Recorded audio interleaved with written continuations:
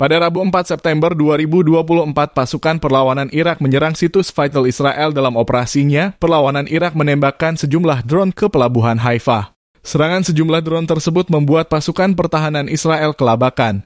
Serangan yang menargetkan situs Vital Israel itu diumumkan langsung oleh pasukan perlawanan Irak. Dalam laporannya dijelaskan serangan ke pelabuhan Haifa merupakan balasan atas pembantaian yang dilakukan Zionis terhadap rakyat Palestina di jalur Gaza. Namun perlawanan Islam Irak tidak mengungkapkan total kerugian dan korban jiwa yang dialami Israel dalam insiden tersebut. Diketahui sebelum menyerang pelabuhan Haifa, Irak juga telah menyerang pembangkit listrik Israel dengan drone bunuh diri. Perlawanan Irak mengklaim serangan tersebut tepat sasaran dan mengakibatkan wilayah Israel gelap gulita.